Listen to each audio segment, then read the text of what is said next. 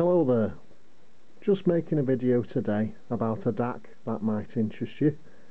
This DAC it's based on the uh, Wolfson WM8741 DACs which are a fairly big step up from the WM8740 um, which itself is a very good DAC but um, looking at the data sheets the 8741 although it's been described um, by a lot of reviewers as just an increment above the 8740 it's quite a step up in regard to performance signal to noise ratio and also um, in regard to the features um, that the DAC offers um, various sort of new um, digital filters and things like that. If you have a look at the data sheets you know um, information on them is uh, is pretty good.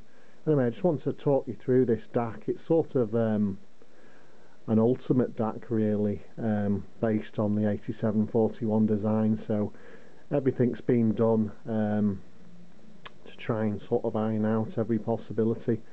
Um, try and you know it's tried to be built as uh, as good as possible really. If we have a look at the transformers got five transformers so it's taken things to the extreme in regard to isolating different parts of the circuit with their own power supplies and their own winding on the transformer.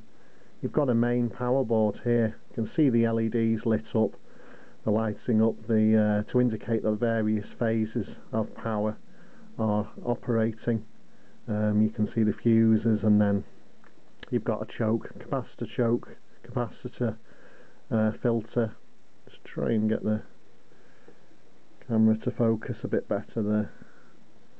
Then you've got your, your regulators um, for the digital power supplies going to each DAC because this design it's a dual differential design uses two DAC chips you've got um, a current regulation so you can see an extra couple of regulators at the front regulating current to the DAC board in the middle um, and the various filter circuits for the power supply there.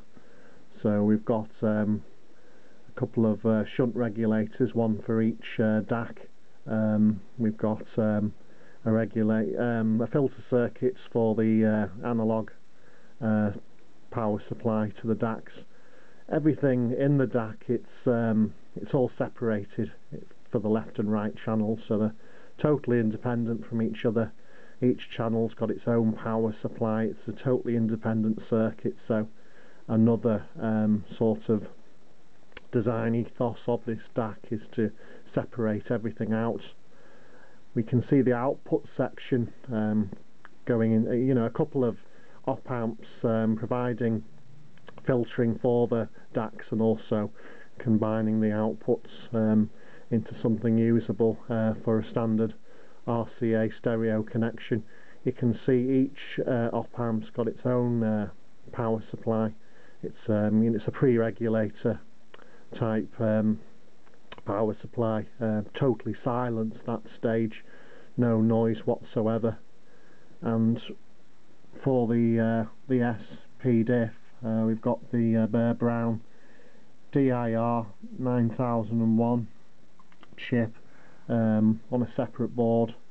You see that feeding into the, the DAC board, so we've got uh, coaxial and uh, Toslink uh, infrared inputs there.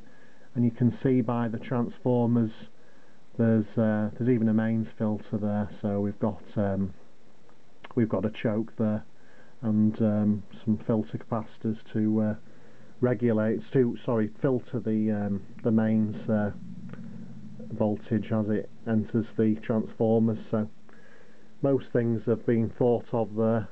Um, just thought uh, it might be of interest to a few people. Might do um, a video of this actually playing some music as well. Okay, thank you, bye.